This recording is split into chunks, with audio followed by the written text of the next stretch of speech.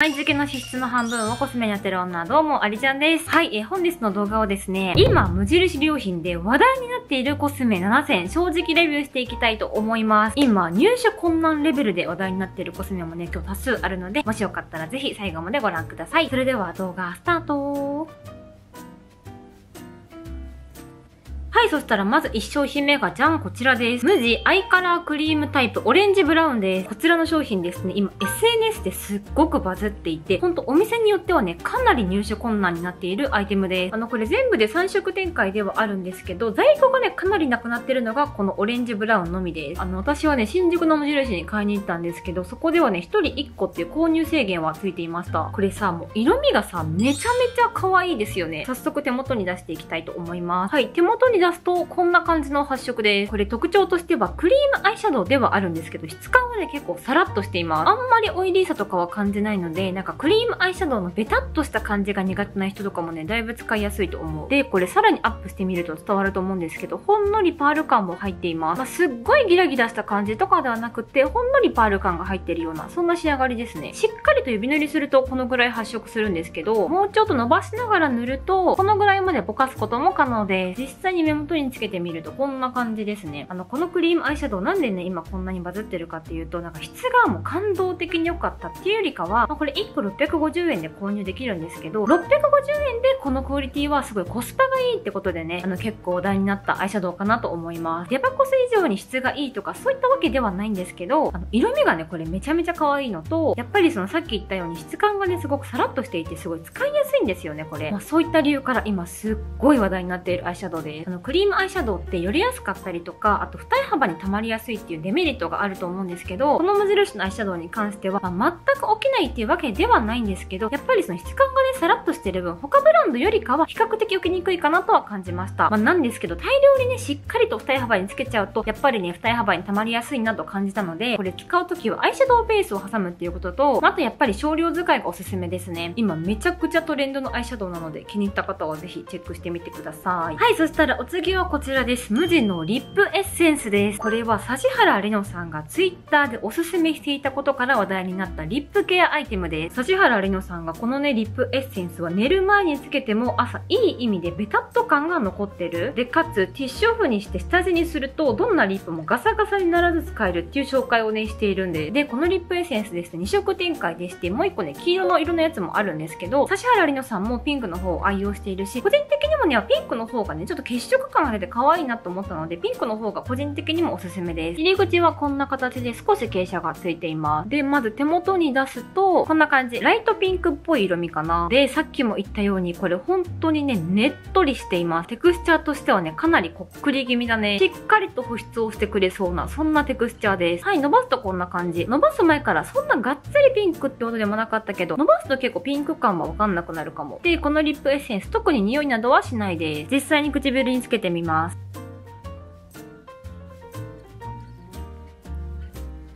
はい、付け終わりました。つけるとこんな感じです。はい、遠くから見るとこんな感じです。実際に使用してみた感想としては、これ、指原莉乃さんが言うように、かなりね、ベタっと感とか、あと高保湿さ、それはすっごい感じます。かつこれ、ツヤ感もね、すっごく出るので、やっぱ塗るとね、唇のボリュームもかなりアップするように見えます。色味もほんりね、ピンクカラーはあるんですけど、ベースの色味を邪魔するような、そのぐらいね、強い発色でもないので、リップケアしつつ、グロスとしてもね、これ全然使えると思います。ちなみにティッシュオフをしてみると、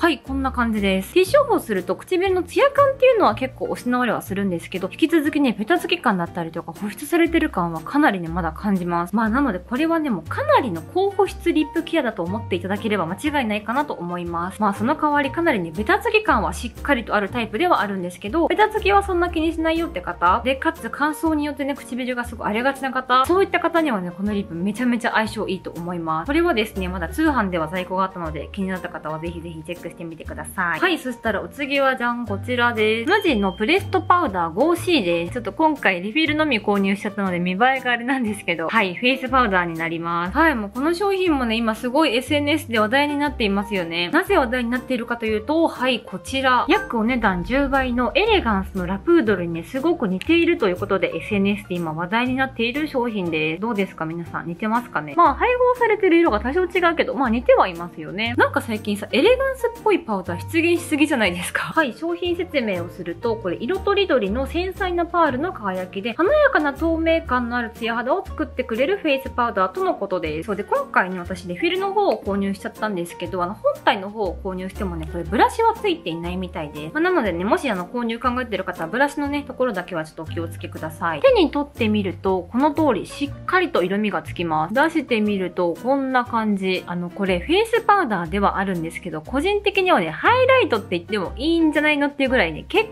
構しっかりと白くなります。で、かつ、これパールもね、しっかりと入っているので、ちょっとね、なんか発光してる感じにも感じるんですよね。だからね、ほんとハイライトっぽいかも。もうちょっとアップにすると、こんな感じ。え、めちゃくちゃハイライトっぽくないですか？むしろフェイスパウダーよりハイライトの方がいいんじゃないのかってぐらい、結構ね、しっかりと発光します。ちなみに比較として似ていると言われてるラプードルを横に並べると、はい、こんな感じ。こっちが無印良品で、こっちがラプードル。まあ、この2つね、お値段の違いが10倍以上するので、まあ、当たり前かもしれないけど、まあ、似てるのは正直見た目だけかな。仕上がりの感じはね、全全然違います。無印はしっかりと白くなるし、結構発光も強いです。エレガンスも気持ちほんの少しだけね、白くなった感じもするけど、仕上がりはもうかなりナチュラルです。もうパッと見どこにつけたかわかんないぐらいね、肌に馴染んでくれてるので、やっぱそういったところはね、仕上がりの違いとして現れたかなと思います。じゃあ最後に無印のね、パウダーを実際に肌につけてみて、どのぐらいにツヤ感が出るのかっていうのをお見せしていきます。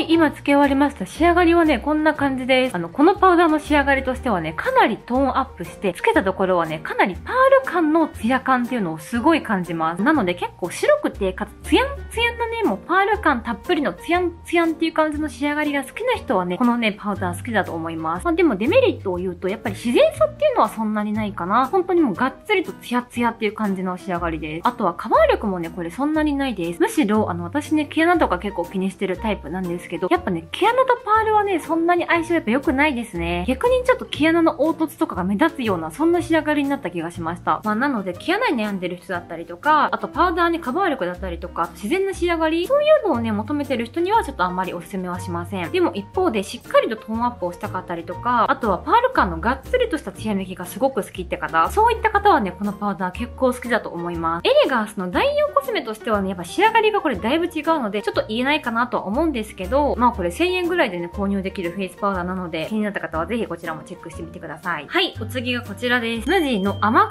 皮ケアオイルです。はい、これは爪の甘皮を柔らかくしてくれて除去してくれるアイテムです。今これ本当に人気で、私これね、購入するのなかなか苦労しました。はい、こちらアップにするとこんな感じです。塗りやすいペン型になっていて、後ろのこの部分をカチカチカチと回すと、どんどんと液が出てきます。はい、こんな感じで液が出てきます。回しすぎるとね、少し垂れちゃうので注意してください。液自体はさらっとしたようなオイルみたいなテクスチャーで、そんなに強くもないんですけど、少しね、独特な匂いがします。まあ、なんですけど、あの、使う量はね、毎回すごい少量なので、使ってる時になんか臭いなって思うとか、そういったことはありません。で、甘皮ケアの仕方なんですけど、実はね、甘皮って2種類に分かれていて、すごい分かりにくいかもしれないんですけど、ここにね、ピューってあるの、これが甘皮。で、実はさらに上にね、ここ薄皮っていうのがあるんですよ。で、本当はこのね、甘皮っていう部分を処理した方が手元自体は綺麗に見えるんですけど、ちょっとね、やっぱりプロの方とかの意見を参考にすると、この甘皮をね、除去するっていうのは、専用の切る道具とかを使ってカットしていくものらしいので、素人の方がケアすると手元を傷つけてしまう可能性もあるみたいです。なので、このアイテムでは薄膜の方にこの液体を塗って、そうするとこれ、塗ってから数分経つと甘皮がね、柔らかくなるんですよ。このピン先がここに角度がついていて、かつこれ硬いので、時間を置いて柔らかくなった薄膜を、ここの角度を使ってぎゅっ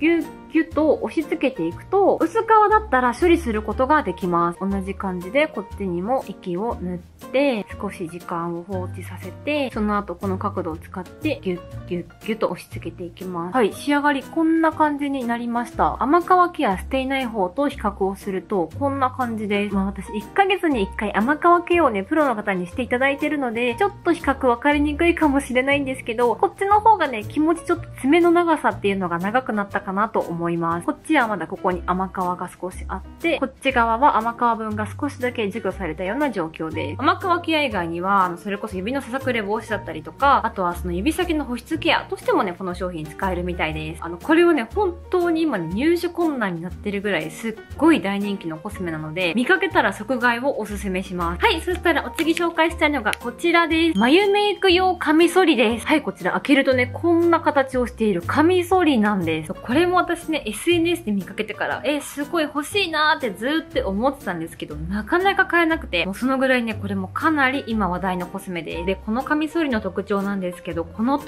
り歯がね、めちゃくちゃ小さいんです。歯のサイズが人差し指の横幅と同じぐらい、そのぐらいめちゃめちゃコンパクトなカミソリです。あの、私今まではね、ここあたりの無駄毛を I 字型のカミソリで処理していたんですけど、この商品に出会ってからね、本当にここのね、処理がすっごくしやすくなりました。あの、今日のためにね、ここあたりに少し無駄毛を生やしてきたので、今からね、このカミソリを使って剃っていきたいと思います。あの、やっぱり目の近くにちょっとカミソリを置くって、ちょっとまあ気持ち怖いじゃないですか。でもね、もうこのカミソリはもう見ての通り、すっごいね、反りやすいんですよ。コンパクトなので、やっぱり目の周りにね、カミソリがあってもね、怖さが全然違うんですよね。反りたいところだけをピンポイントで反れる。そんな感じのカミソリです。はい、反り終わりました。こんな感じです。ね、あの、本当にこれは細かい部分にもすっごく反りやすいです。で、かつこれサイズもね、折りたたみができるので、持ち運びにもすごく便利です。なので、個人的にはね、これすごいおすすめしたいんですけど、まあね、デメリットを一つ言っておくと、まあ、切れ味で言うと普通ぐらいですね。なんかちょっとの力からでもすっ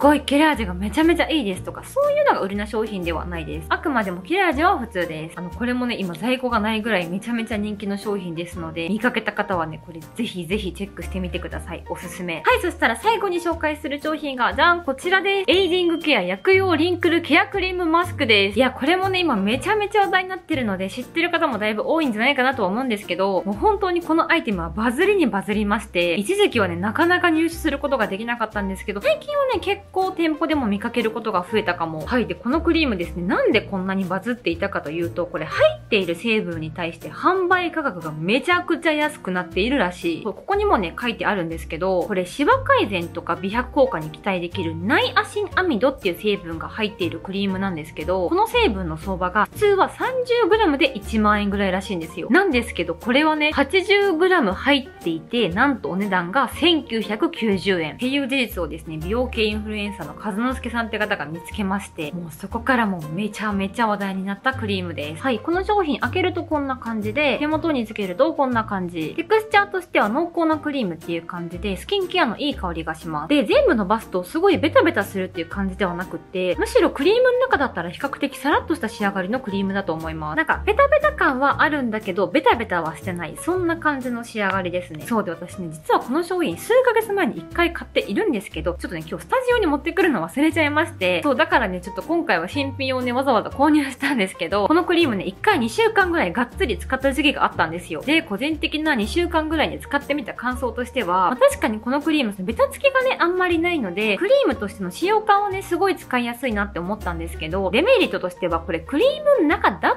たら、保湿力はね、ちょっと低めな気がする。まあ私がね、乾燥肌っていうのももちろんあるとは思うんですけど、使ってる期間ね、ちょっとと肌乾燥したんですよね。まあだし、やっぱりね、この商品がバズった理由としては、ナイアシンアミドっていうシワ改善と美白にね、効果があると言われているその成分のコスパがいいってことで、まあ話題になったね、アイテムなので、まあクリームとしての保湿効果って部分でね、バズってるわけではないんですよ。まあなので、その入ってるね、成分のコスパがめちゃめちゃ最強って事実は変わんないと思うんですけど、乾燥肌さんだったりとか、あとクリームにね、すごい保湿効果をすごく求める方、そういう方には個人的にはすっごいおすすめするっていうことでもないかも。そう、でもね、今話題ではあるので、これもね、気になった方はぜひぜひ、最近は比較的購入しやすくもなってると思うので、ぜひチェックしてみてください。はい、え、以上でですね、今無印良品で話題になっているコスメ6種正直レビュー終了になります。いかがだったでしょうか？特にですね、アイシャドウと眉髪ソリと甘皮ネイル、これがね、多分今は結構ね、入手困難になってると思います。なんでまあ、特にね、これあたりは見かけたらかなりラッキーだと思うので、ぜひぜひチェックしてみてください。最後までご視聴いただきありがとうございました。